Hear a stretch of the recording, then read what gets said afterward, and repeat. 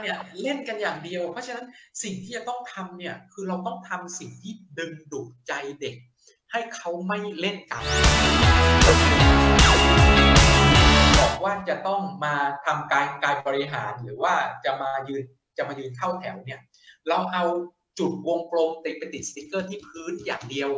สีขาวดำเนี่ยเด็กไม่เล่นหรอกครับ ที่เห็นภาพเนี้ยสีสันต่างๆ ต้องมาครับต้อง ต้องเห็นภาพของเด็กทั้งหมดว่าว่าเขาจะเป็นยังไง แล้วสิ่งที่ยุ่งยากตามมาอีกคืออะไรทราบไหมครับ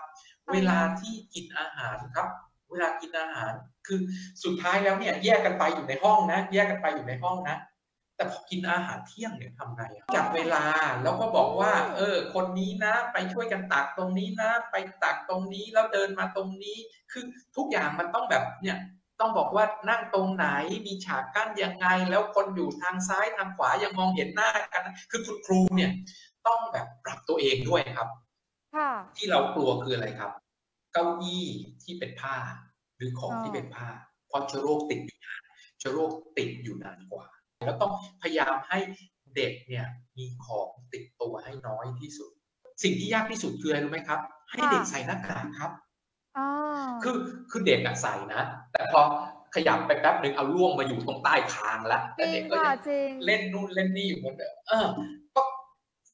ตอนหลังๆก็เลยต้องเอาแบบที่มีผูกผูกคอแล้วก็มัดข้างหลังได้อะแต่เจ้าฉากกั้นนี่จะช่วยได้เยอะ เพราะว่าอย่างที่บอกว่าเด็กๆ บางทีใส่แมสแล้วมันหลุดไงคะ มันก็ไม่ cover ร้อยเปอร์เซ็นต์อะ ใช่เชื่อไหมครับฉากกั้นเนี่ยเดี๋ยวเด็กชนไปก็พังถามว่าพังแล้วถ้าเกิด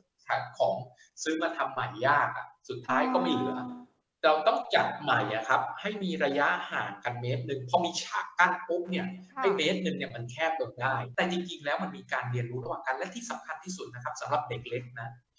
สิ่งที่เราสอนเขาเนี่ยคือการที่ใช้ชีวิตร่วมกับคนอื่นนึกออกใช่ไหมครับการที่เขามาที่โรงเรียนเนี่ยแน่นอนเราพูดหลักการการศึกษาภาคบังคับเนี่ย ภาคบังคับคืออะไรครับ อ่านออกเขียนได้ บวกเล็กบวกลบคูณหารพื้นฐานได้ ดูแลสุขอนามัยของตัวเองได้ถูกไหมอ่านเรื่องของฉลากยาเป็นกินยาถูกสื่อสารกับคนอื่นได้ และความสัมพันธ์ร่วมกับคนอื่น เพราะฉะนั้นสิ่งที่มาในห้องเนี่ยคือ เรายังไม่ลด interaction ระหว่างกันทำยังไงให้